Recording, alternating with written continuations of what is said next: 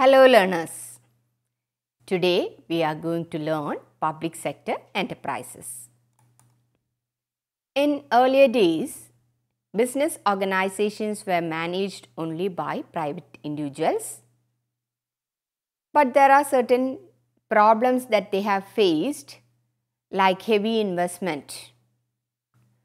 If heavy investment is to be made means they find it so difficult. And another point is relating to the infrastructure. And they will enter into only to those business organizations which can earn profit. But we have other set of organizations also which is needed for or which is aimed for the welfare of the society. At this point of time, many enterprises were started by the government including oil industry, steel industry, banking, finance, etc. So, in this lesson, we will learn meaning of public sector enterprises, characteristics of public sector enterprises and different forms of public sector enterprises. What is meant by public sector enterprises? The business units owned, managed and controlled by the central government or state government or local government are termed as public sector enterprises or public enterprises. It can be otherwise known as public sector undertakings. A public sector enterprise may be defined as any commercial undertaking owned and managed by the government with a view to maximize social welfare. That is, they have been started for the welfare of the society.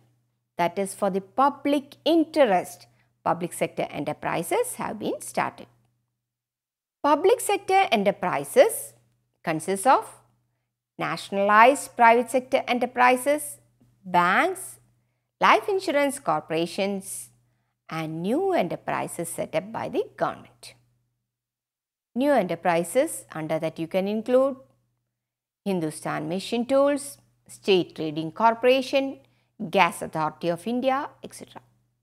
So, here once again I have shown the examples of public sector enterprises. Now, we have to learn the characteristics of public sector enterprises. It is a government owned organization and government managed organization. It is financed from government funds. Usually for the welfare of the society, public enterprises are functioning. If you want to start a post office in an interior area, if this work is given to private bodies, they cannot do that. But without any profit motive, government enterprises will do these type of functions in a proper way. Similarly, transportation, communication, etc. So, for the public welfare, what all activities can be conducted? It will be conducted by the public enterprises. Similarly, public utility services, that is what I have mentioned right now, relating to the setting up of telecommunication system, transportation system, electricity, etc. These are the public utility services which will be handled by the public sector enterprises. But as the fund is raised from the government, these enterprises have public accountability that is public answerability. As it is owned by the government, excessive formalities are there. For forming, it has to get the approval of the concerned minister, so many other procedures. So, excessive formalities are there relating to the public enterprises. Now, we can look at the difference between private sector enterprises and public sector enterprises. Main aim of the private sector enterprises is to maximize profit. But public sector enterprises main aim is to maximize social welfare and these enterprises ensure balanced development. Private sector enterprises are owned by private individuals. Public sector enterprises are owned by government. Private sector enterprises are managed by the owner. or professional managers. Public sector enterprises are managed by the government. What about the capital in both these type of enterprises? Capital is raised by the owners either through loans or through private sources and by issuing shares in the case of private sector enterprises. But in the case of public sector enterprises, it, the capital is raised from the government funds and sometimes through public issues. Private sector enterprises operates in all areas with adequate return on investment that is profit is a major criteria. Public sector enterprises operate in basic and public utility sectors. Basic sectors, infrastructural facilities are being provided by the public sector enterprises. Forms of public sector enterprises include departmental undertaking, statutory corporation and government company. In detail, we can explain departmental undertaking that is overall control of the Ministry of Government is there in departmental undertaking. It is financed and controlled as a government department. Departmental undertaking is suitable for activities where the government desires to have control. Coming to second form of public sector enterprises, statutory corporation or public corporation. Public corporation refers to a corporate body created by the parliament or state legislature by a special act which define its powers, function and pattern of management. In the case of statutory corporation is wholly provided by the government. As examples of statutory corporation, you can include State Trading Corporation, Life Insurance Corporation of India. Coming to the third form of public sector enterprises, government company. 51% or more of the paid up capital is held by the government. Such a company can be called as a government company. Government company is registered under the Companies Act. Government company is fully governed by the provisions of the Act. Now we are moving to departmental undertakings in detail. It is the oldest among the public enterprises. Departmental undertakings are organized, managed and financed by the government. It is controlled by a specific department of the government. Each such department is headed by a minister. All policy matters and other important decisions are taken by the controlling ministry. Parliament lays down the general policy for such undertakings. Now it is time for you to look at the features of departmental undertaking. It is established by the government and its overall control rests with the minister. It is a part of the government but it is managed like any other government department. Departmental undertaking is financed through government funds. Departmental undertaking is subject to budgetary control. Accounting and audit control is also there in the case of departmental undertaking. Its policy is laid down by the government. Departmental undertaking is accountable to the legislature. Proceeding to the merits of departmental undertaking. Departmental undertaking helps to fulfill social objectives. It is responsible to legislature. Economic activities of this undertaking is under the control of the government and contribution to the government revenue is also possible because everything that is funded by the government and the profit will go to the government. There is little scope of misuse of funds. Misappropriation of funds is not possible as there is heavy control from the government. Fulfillment of social objectives as its merit.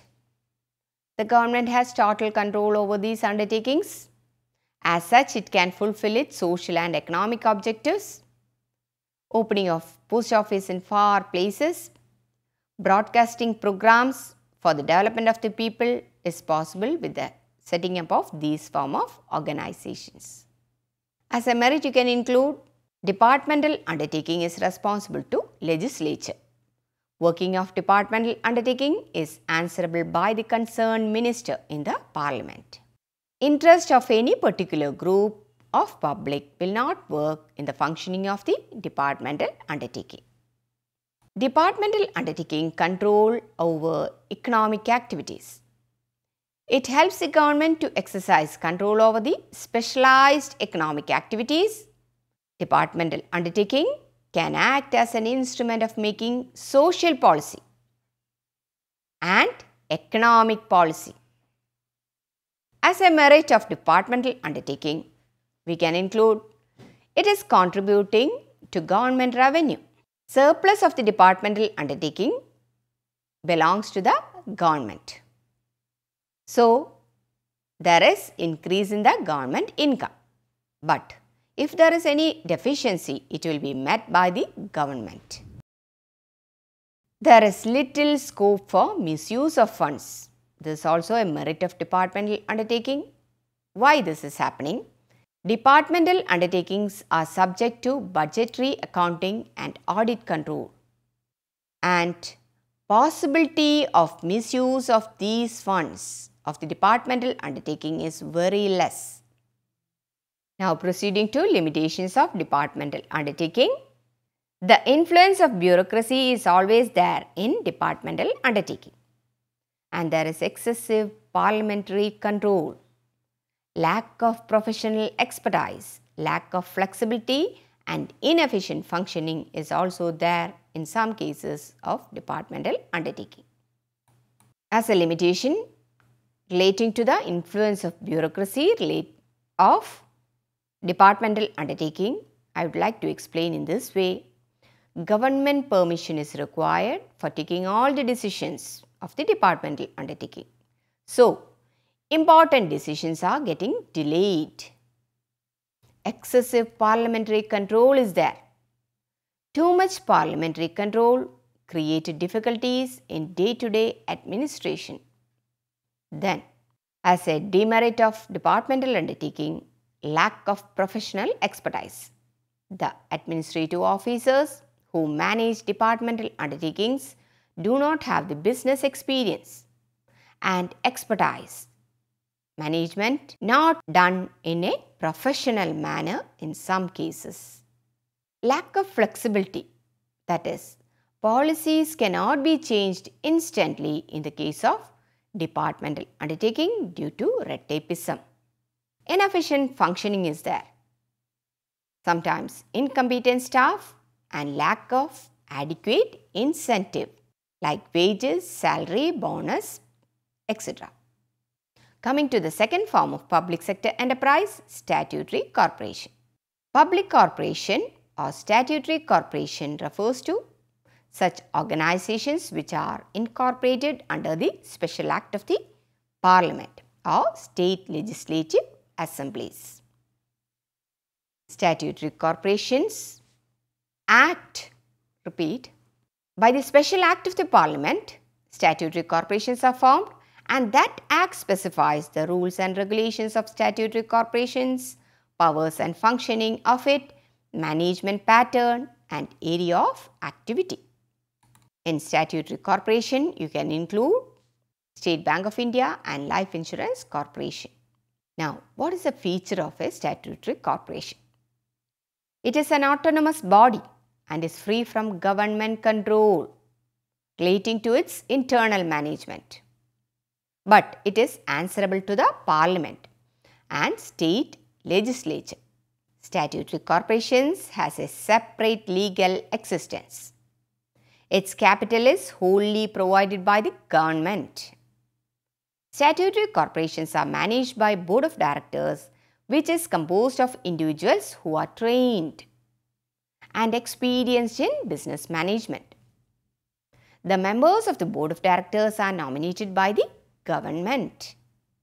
Statutory corporation is supposed to be self-sufficient in financial matters. But sometimes if there is any necessity, it may take loan from the government. The employees of statutory corporation are recruited as per their own requirement. That is, as per their own terms and conditions as specified in the Act and decided by the board. Coming to the merits of statutory corporations, these corporations are managed in an expert manner or efficient manner. Internal freedom or autonomy is there. Responsibility is also there for statutory corporations towards the parliament and there is flexibility in its operation. Now proceeding to the merits of statutory corporation, expert management. These enterprises are run on business principles under the guidance of expert directors and experienced directors. Government has no direct interference in the day-to-day -day management of the statutory corporations.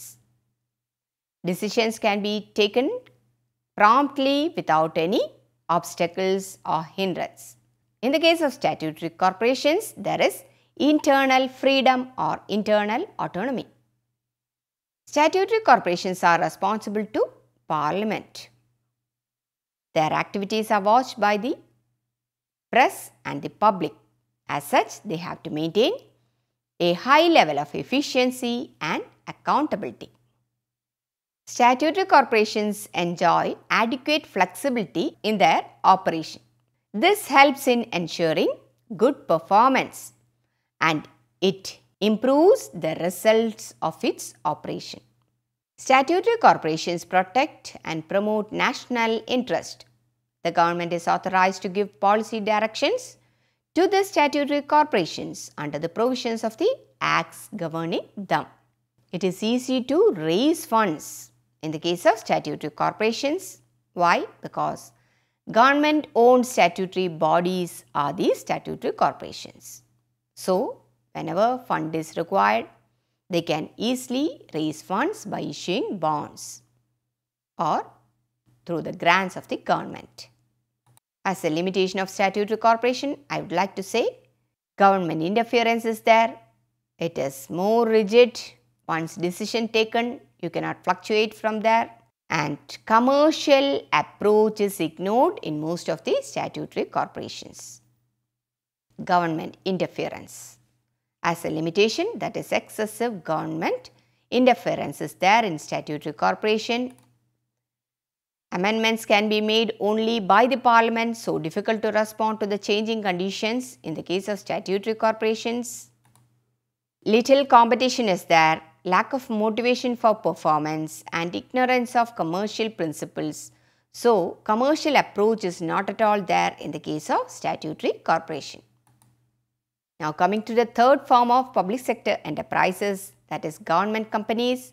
A company in which 51% or more of its capital is held by central government or by state government, such a company can be regarded as a government company. Government companies are registered under the Companies Act 1956. It follow rules and regulations of registered company. Coming to the features of government company, it is registered under the Companies Act 1956. It has a separate legal entity that is it can sue and be sued. It can acquire property in its own name. The annual reports of the government companies are required to be presented in the parliament. The capital is wholly or partially provided by the government because 51% or more of the shares are held by the government. It is managed by board of directors. All the directors or majority of the directors are appointed by the government. Government companies accounting practices and audit practices are more like those of private enterprises and its auditors and chartered accountants are appointed by the government. Employees are not civil servants. Government company regulates its personal policies according to the Articles of Association of the government company. Merits of government companies It is so simple to establish a government company. Efficient working on business line is possible in the case of government companies and there is efficient management and there is healthy competition also in the case of government companies.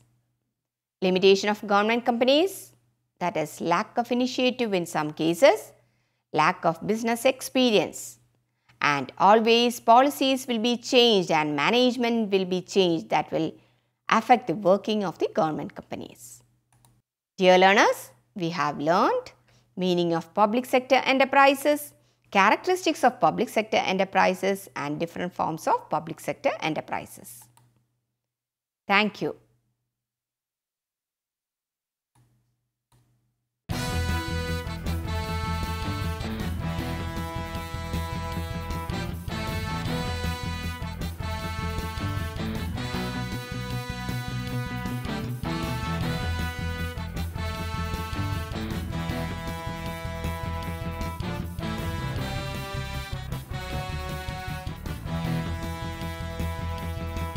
वर्ष उन्नीस में एक स्वायत्त संस्था के रूप में भारत सरकार के मानव संसाधन विकास मंत्रालय द्वारा स्थापित राष्ट्रीय मुक्त विद्यालय शिक्षा संस्थान, एनआईओएस, दूरस्थ शिक्षा की विश्व में सबसे बड़ी मुक्त विद्यालय शिक्षा प्रणाली है। 25 लाख से अधिक पंजीकृत शिक्षार्थियों के साथ एनआईओएस देश विदेश में 1200 से अधिक व्यावसायिक और 5500 से अधिक शैक्षिक अध्ययन केंद्रों के नेटवर्क द्वारा शिक्षा वंचितों तक पहुँचने का प्रयास करता है। जीवन ये प्रकाशित करने, राहों को करने। जीवन ये प्रकाशित करने, राहों को आलोकित करने।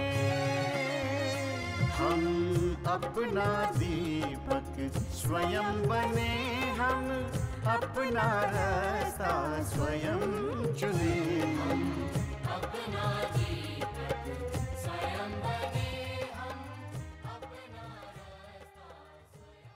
जनमानस में शिक्षा और प्रशिक्षण से सामाजिक आर्थिक विकास को एक नई गति प्रदान की जा सकती है।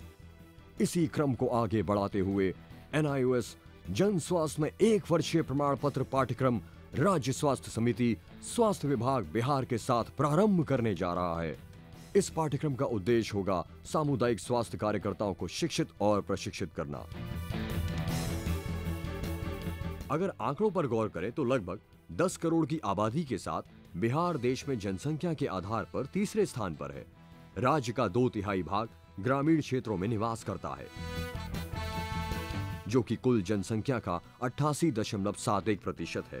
गौर करने योग्य तथ्य ये है कि आज बिहार में एक बड़ी आबादी पर डॉक्टरों की उपलब्धता का अनुपात बहुत ही कम है। इन आंकड़ों अनुपातों को ध्यान में रखते हुए जन स्वास्थ्य की सुविधाओं के सुगम निष्पादन का एकमात्र उपाय हो सकता है प्रशिक्षित सामुदायिक स्वास्थ्य कार्यकर्ता। सामान्यतः सुदूर ग्रामीण अंचलों में कार्यरत एक प्रशिक्षित सामुदायिक स्वास्थ्य कार्यकर्ता निवारात्मक तथा उपचारात्मक स्वास्थ्य सेवाएँ प्रदान करता है।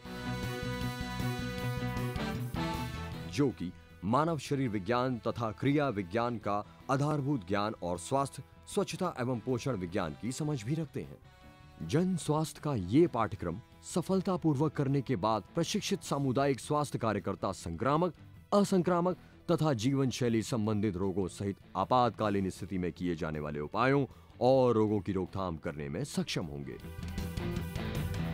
साथ ही प्राथमिक उपचार, औषधि विज्ञान, फार्मेसी तथा दवाओं के दुष्प्रभावों का व्यवहार ज्ञान प्राप्त कर सकेंगे।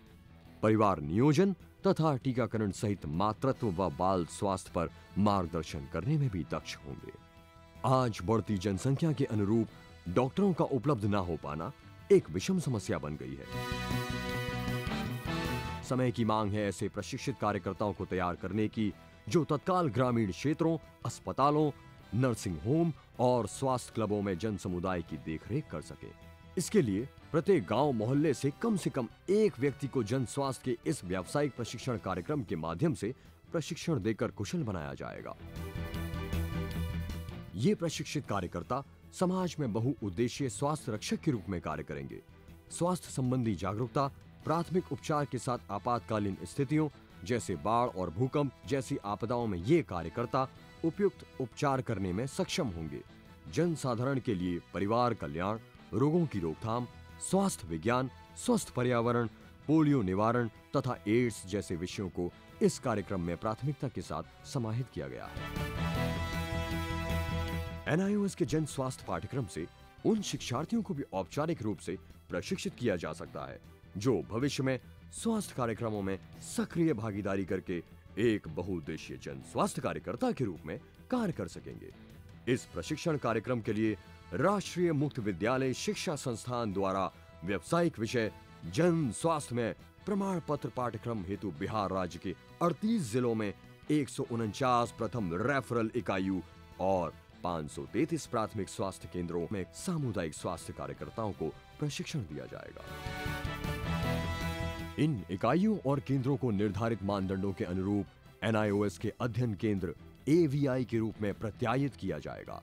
प्रत्यायन के उपरांत इन अध्ययन केंद्रों पर प्रशिक्षणार्थियों का नामांकन आरंभ होगा। केंद्र समन्वयक इन केंद्रों का संचालन करेंगे। केंद्र समन्वयक के मार्गदर्शन में केंद्रों का प्रत्यायन, प्रशिक्षणार्थियों का नामांकन, शैक्षिक गतिविधियाँ, प्रशिक्षण कार्यक्रम एवं परीक्षा कार्य एनआईओएस द्वारा निर्धारित मापदंडों के अनुरूप निष्पादित किए जाएँगे। प्रवेश के लिए अभ्यर्थी की योग्यता दसवीं पास और कम से कम तीन वर्ष का सामुदायिक स्वास्थ्य कार्यकर्ता के रूप में अनुभव होना आवश्यक है। जन स्वास्थ्य के व्यावसायिक पाठ्यक्रम की अध्ययन योजना में 40 प्रतिशत सिद्धांत एवं 60 प्रतिशत प्रयोग और प्रशिक्षण होगा। इस पाठ्यक्रम के तीन भाग हैं। आधारभूत जीव विज्ञान, मातृत्व एवं बाल स्वास्थ्य की देखभाल और रोगों व आपातकालीन स्थितियों में निवारण एवं प्रबंधन। इसके अंतर्गत शरीर क्रिया विज्ञान, प्राकृतिक स्वास्थ्य, घरेलू उपचार, पोषण, योग और व्यायाम, गर्भावस्था के दौरान महिला की देखरेख, स्तनपान, राष्ट्रीय स्वास्थ्य कार्यक्रम, परिवार कल्याण कार्यक्रम, स्वास्थ्यकर्ता के उत्तरदायित्व, संक्रामक रोग एवं निवारक उपाय, प्राथमिक उपचार, फार्मेसी तथा औषधि प्रतिक्रिया, प्रबंधन एवं आपातकालीन स्थिति जैसे विषयों का अध्ययन किया जाता है। टीकाकरण बेहोशी में बचाव का प्रबंधन, जलने और डूबने की स्थिति में आपातकालीन उपाय, हड्डी टूटने की स्थिति में रोगी का स्थानांतरण तथा प्राथमिक उपचार प्रमुखता से सम्मिलित है। योग की अंतर्राष्ट्रीय स्तर पर स्वीकार्यता और महत्ता को देखते हुए इस पाठ्यक्रम में योग का अर्थ अष्टांग योग के विभिन्न चरणों और योगासनों के साथ साथ प्राणायाम की विधियों को प्रमुखता से सम्मिलित किया गया है। एक राष्ट्रीय लक्ष्य के रूप में सभी के लिए शिक्षा और स्वास्थ्य आज एक प्राथमिकता का विषय है। भावी प्रशिक्षणार्थियों की सामाजिक आर्थिक विषमताओं को ध्यान में रखकर तैयार किए गए जन स्वास्थ्य के इस पाठ्यक्रम के संचालन से एक नई व्यावसायिक प्रशिक्षण क्रांति को दिशा मिलेगी। जनमानस के विकास में राज्य स्वास्थ्य समिति, बिहार और एनआईओएस का यह संयुक्त प्रयास एक नई दिशा दिखाएगा और जन स्वास्थ्य के क्षेत्र में शिक्षा प्रशिक्षण का ये पाठ्यक्रम एक नई किरण बनकर समाज को रोशन करेगा।